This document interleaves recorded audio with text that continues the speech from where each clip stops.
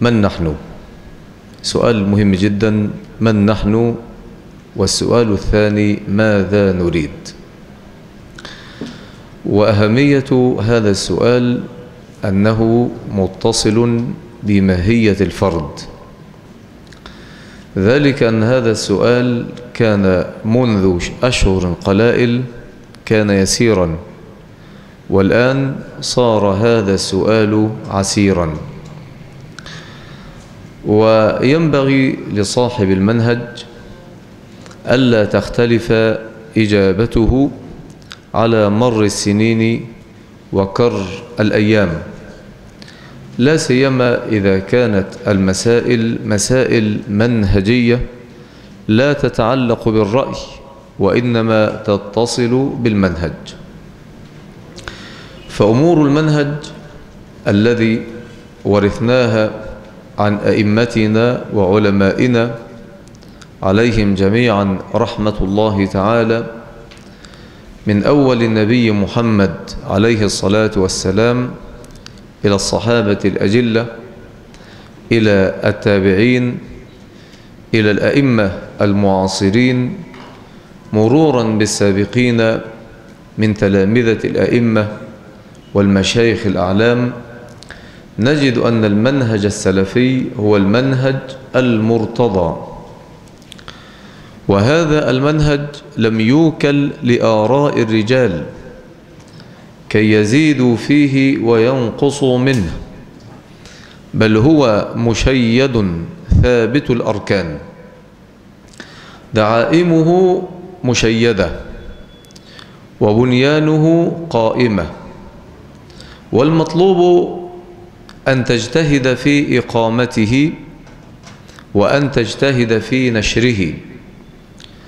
أما أصل هذا المنهج وأما أساسيات هذا المنهج وأما أوليات هذا المنهج فلا يتصور أن تعدل أو أن تبدل. آه لو طلعتم كلام شيخ الإسلام ابن تيمية عليه رحمة الله وهذا الكلام لمحه باقتدار ولطف وقوة شيخ الإسلام ابن عبد الوهاب وجعل منه التصور الذي ينبغي أن يسار عليه. وتجد هذا أيضا عند شيخ الإسلام ابن القيم. يبقى هذا الكلام أساسه عند شيخ الإسلام ابن تيمية وابن القيم وعبر عنه ابن عبد الوهاب بوضوح أكثر وأشار إليه غير واحد من المتقدمين واللاحقين. أن أصول المنهج السلفي العلم والعمل والدعوة والصبر. ويمكن أن يزاد شيء آخر نفع المسلمين. إذا هذه أصول عامة ينبغي أن يحرص عليها الناس. العلم والعمل والدعوة والصبر ونفع المسلمين. وليس من أصول هذا المنهج الحزب أو العملية السياسية الباهتة التي لا تغني ولا تسمن من جوع. فإن العمل لنصرة دين الله عز وجل إما أن يكون بالعلم والحجة والبرهان وإما أن يكون بالسيف والقوة والسنان. هذان طريقان لا ينصر دين الله تعالى إلا بهما. لا ينصر دين الله تعالى إلا بالسلطان. إما سلطان الحجة والبيان وإما سلطان السيف والسنان. أما أن ينصر دين الله تعالى بالتحالفات الحزبية والأعمال السياسية فهذا من ألاعيب الشيطان التي ربما يدخل بها إلى بعض الأفاضل بارك الله تعالى فيه. وهذا الكلام قاله أيضا الإمام العلامة الشنقيطي عليه رحمة الله. وذكرته في درسي الذي قلته لحضراتكم قبل السفر الدرس الطويل اللي هو الواقع المر. إذا لا يتصور أن ينتصر دين الله تعالى عن طريق تحالفات مع العلمانيين أو أن يدخل النصارى بين صفوفنا أو أن ندخل النساء بين بنيات أعمالنا. ونقول لا بأس من ذلك الأمر لأنه مصلحة ولأنه أمر يدفع به مفسدة أعظم إلى غير ذلك. هذا كلام عجيب جدا. إن إخواننا الأفاضل الذين وسعوا من أمر المصلحة والمفسدة يمكن أن أفتي بجواز تقبيل قدم الأنبا شنودة من باب المصلحة والمفسدة يمكن. لو قلت لك قبل قدم شنودة لن تفضت ولا ارتعشت ولا قلت هذا لا ينبغي ولا يجوز ودمي دون ذلك. اسفك دمي ولا أفعل ذلك. لكن يمكن أن أؤصل لك بهذه القاعدة التي دخلت مجال ما يسمى بالسياسة الشرعية وحاشا لله أن تدخلها هذه القاعدة بهذه الصورة يمكن أن أصل لك هذا الأمر. وما التأصيل؟ نعم تقبيل قدم شنودة الذي يحمل الصليب ويلبس الصليب ويعبد الصليب ويدعو إلى الصليب تقبيل قدمه مفسدة. لكن إذا لم أقبل قدمه اتهمت بالتعصب والإرهاب وتطرف وعدم فهم الممارسات الديمقراطية وأيضا أحادية الفهم وعدم قبول الآخر وعدم حرية الرأي إلى غير ذلك مما يترتب عليه إفساد الممارسة الديمقراطية التي حزبنا أحد أركانها. الآن بعض الأفاضل يقولون لا بأس بالديمقراطية. الآن سبحان ربي الآن وهذا الكلام لم أسمعه مثلا من واسطة ولكن هذا كلام عالي الإسناد عالي الإسناد. الديمقراطية التي كنا نحاربها بالأمس صرنا اليوم نقبلها. ونقول إننا نقبل الديمقراطية لأننا فرغنا الديمقراطية من أهم خصائصها. هذا الشريف النبيل الذي قال ذلك قال إن أهم خصيصة من خصائص الديمقراطية أن يحكم الشعب بالشعب. ولكن سنقول بأن الحكم سيكون لله. إذا نحن نقبل الديمقراطية كشكل ولكن فرغنا مضمون الديمقراطية من جوهره طبعا هذا كلام عند التدقيق كلام غير صحيح غير صحيح ومناقشته تطول لأن الديمقراطية ليس جوهرها في مسألة الحكم فقط أبدا ولكن الديمقراطية جوهرها أن تقبل الغير. أن تقبل الغير. دي أصل الديمقراطية. أن تقبل النصراني وأن تقبل اليهودي وأن تقبل الملحد وأن تقبل الوثني دي أصل الديمقراطية. دي أصل الديمقراطية أن يكون هناك التعايش السلمي بين الناس جميعا. دي أصل الديمقراطية. فأصل الديمقراطية كمعنى إنساني هذا هو. لكن أصل الديمقراطية في باب الحكم ما قالوه. فجوهر الديمقراطية المساواة الحرية العدل. ده أصل الديمقراطية. وهي أصول الماسونية التي قامت عليها الثورة الفرنسية الكبرى. إذا نحن الآن نعيش فترة اغتراب شديدة. فترة اغتراب شديدة. ولذلك صار من الضروري أن تجيب عن هذا السؤال. من أنت وماذا تريد؟ ده مسألة مهمة الآن. كل إنسان لابد أن يحدد إجابته في هذه القضية. أرجع إلى التأصيل الأصولي لمسألة قدم شنودة عليه من الله تعالى ما يستحق.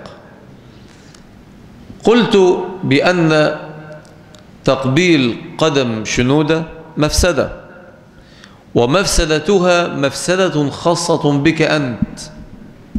لكن عدم تقبيل قدم شنودة مفسدة ومفسدتها متعلقة بالحزب وبالجماعة.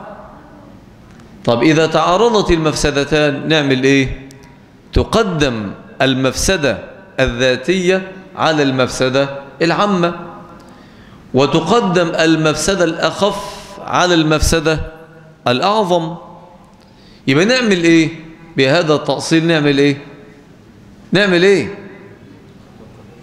نقبل رجل شنود. تصور هذا الأمر. إذا نحن بالتأصيل العلمي يمكن أن ندعو الإخوة الكرام أن يقبلوا قدم شنودة دفعا للمفسدة الأعظم. إن لله وإنا إليه راجعون. ولذلك يعجبني اجتهادات ابن حزم في بعض المسائل. ابن حزم ليس له وسط. إما أن يكون رأيه سامقا وإما أن يكون رأيه سافلا. ما فيش وسط بين الاثنين إذا تأيد رأيه بالدليل الصحيح الصريح على رأيه. وإن جانبه الدليل واتبع بنيات العقل ذهل عن الصراط وربما ذهب بعيدا. فمن اجتهادات ابن حزم في المسائل العقلية التي هي بعيدة عن الدليل الشرعي اجتهاده فيما يسمى بالبرهان العقلي. قال إن البرهان العقلي الذي وضعه أرسطو ينبغي ألا نقبله نحن المسلمين. وما نعمل إيه؟ قال لابد أن نضبط هذا البرهان. يعني البرهان ذات نفسه لابد من ضبط لابد من ضبط. البرهان عبارة عن مقدمتين ونتيجة. أرسطو بيقول إذا ضبطت هاتين المقدمتين فلابد أن تنتج نتيجة صحيحة. فابن حزم قال لا ليس هذا شرطا. ليس هذا شرطا. يمكن أن نجد مقدمة صحيحة ومقدمة صحيحة وتنتج نتيجة فاسدة. وسدل على ذلك بماذا؟ عندما أقول زيد زيد أبيض زيد رجل أبيض. وأقول الحجر أبيض. إذن النتيجة ماذا؟ ها؟ النتيجة؟ لا. لا. النتيجة احذف المتشابه يديك النتيجة. النتيجة زي لما نقول مثلا سين بتساوي خمسة وصاد بتساوي خمسة إذا سين بتساوي صاد. زي بالضبط. من تاني. زيد أبيض. الحجر أبيض.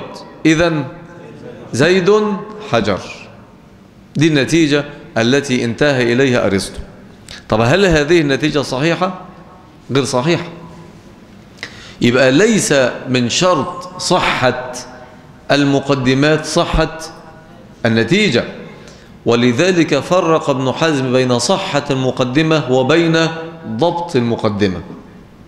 إحنا بنقول برضك في الجانب الأصولي لابد من ضبط النظر الأصولي في مسائل الواقع لابد من ضبط النظر الأصولي يعني قاعدة تزاحم المصالح والمفاسد هي قاعدة صحيحة ولكن تحتاج إلى ماذا؟ إلى ضبط تحتاج إلى ضبط ما هذا الضبط؟ ما هذا الضبط؟ ده الذي ينبغي أن يحرره الأصوليون المعنيون بتنزيل القواعد الأصولية عن الواقع. بالضبط مثل ماذا؟ مثل مسألة المجاز يقع أم لا يقع؟ هناك من أوقع المجاز مطلقا وهناك من نفاه مطلقا وهناك من أجازه في اللغة ولم يجزه في القرآن وهناك من أجازه في القرآن واللغة ولكن جعل له ماذا؟ ضوابط. إذا نحن نحتاج إلى ضوابط لبعض القواعد التي أسيء استعمالها.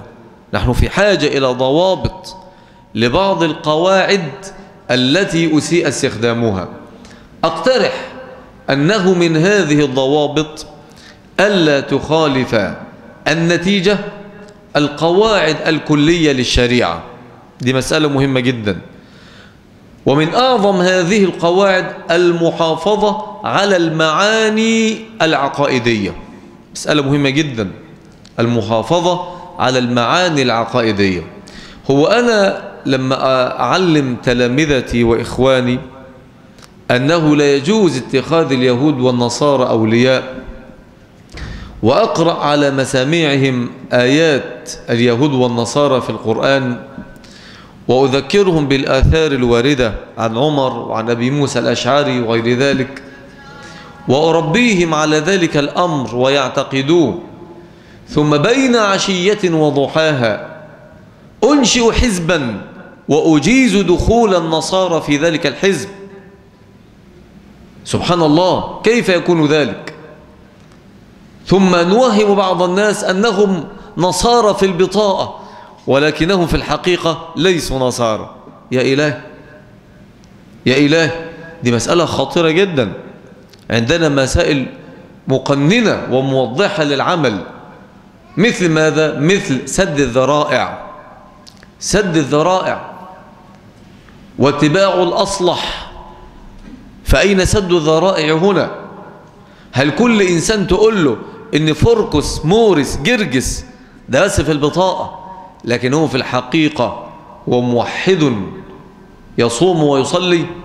هل كل إنسان تقول له الكلام ده؟ وهب أنك قلت ذلك للناس جميعا. وأتى إليك أيها الحبيب رجل يعبد الصرصار من دون الله. واحد بيعبد الصرصار حرية عقائدية. الله وحد يعني حد مزاجي. أنا بدلي إن أنا أعبد الصرصار. ونحن الآن في عصر الحرية. ليعبد كل إنسان ما شاء.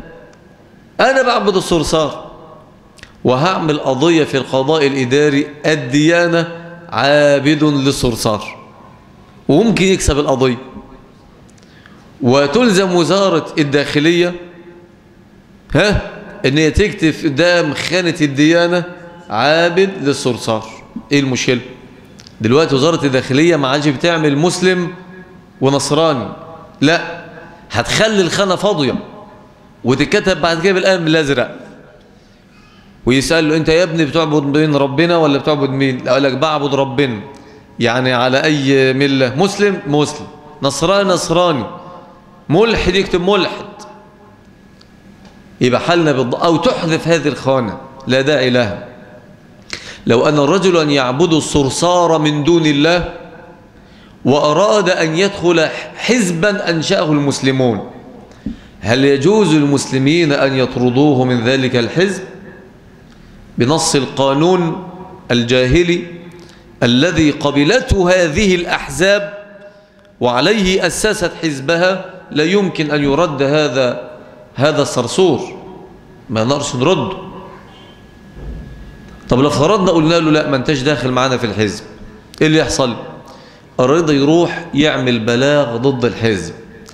أنه كمصري أراد أن يمارس حقه السياسي بأن ينضم إلى حزب فلاني ولكنهم رفضوا عضويته. على طول ممكن لجنة الأحزاب تأمر بحل الحزب ومصادرة كل أملاك الحزب. كمبيوترات والمكاتب والشقق والفلوس وده كله يتم مصادرته من أجل ماذا؟ من أجل عابد للصرصار يا إلهي لماذا؟ ما الذي أوصلنا إلى هذا؟ ثم بعد ذلك ما الذي سنستفيده؟ هل يمكن لنا أن نتبوأ حكم البلاد وأن ننشر الشريعة في مصر وفي العالم إذا صنعنا ذلك هيهات هيهات هيهات هيهات. لن يمكنوك من ذلك. لن يمكنوك من ذلك. عندهم ألاعيب وأفاعيل. إنهم الشياطين. لابد أولا إذا أردت شيئا أن تعد له قاعدة كبيرة. إن قاعدة الأحزاب الموجودة الآن هي إخواننا وتلاميذنا. الناس اللي دخلوا الأحزاب هم مين؟ هم الإخوة اللي شايلين العمل الحزب الآن الضيق. اللي شايلين العمل الحزب الضيق هم الذين كانوا بالأمس يجلسون في المسجد ويلقون الدروس ويسمعون الدروس. ليس هناك أفراد جدد إنهم هم هم. حتى عندما أنشأوا الحزب قالوا إن الحزب بعيد عن الدعوة. ثم بعد ذلك قالوا الحزب رافض من روافد الدعوة. ثم بعد ذلك قالوا الدعوة هي الحزب والحزب هي الدعوة هو الدعوة. سبحان الله. إن القاعدة لابد أن تتسع. واتساع القاعدة لابد أن يقوم على خصلتين عظيمتين النصح والإصلاح. النصح والإصلاح. هذا الكلام قلته منذ سنين وأقوله الآن. نحن لا نريد حكما وإنما نريد إصلاح الناس وتعبيد الناس لرب الناس. هذا ما نريد. لا نريد أن نزاحم أهل الدنيا في دنياهم وإنما نريد أن نترك لهم دنياهم ليتركوا لنا أخرانا. إن حق المسلمين علينا أن نعلمهم الدين وأن نحببهم في الإسلام وأن نمسكهم بالطريق وأن نرشدهم إلى النجاة بعيدا عن مخالب الدنيا وخداعها هذا ما ينبغي أن نقوم به. فالمنهج السلفي منهج يقوم على الإخلاص يقوم على التجرد يقوم على المتابعة. أما هذه العمليات العصرية السياسية فهي قائمة على الأحلاف وقائمة على تقدير المصالح على تقدير المصالح وهذا التقدير يخضع للآراء والظنون. قلت في بداية المسألة إن الانتخابات لن تكون في وقتها.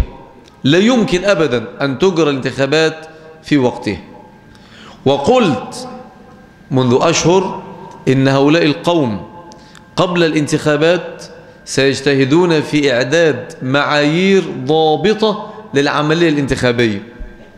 إيه اللي حصل؟ في بعض المحافظات وأظن بعض الإخوة كان معي وبالتحد في بعض المحافظات لو أريد أن أحدد. قلت لهم هذا الكلام. قالوا إذا حصل هذا الكلام فإننا سنترك هذا الأمر بالكلية ونعود إلى خندق العلم والدعوة. ومع ذلك فإنه مع ظهور الحق الأبلج فإنهم لم يعودوا إلى حقل العلم والدعوة بل جرفهم مسألة الحزب ونسأل الله تعالى العافية.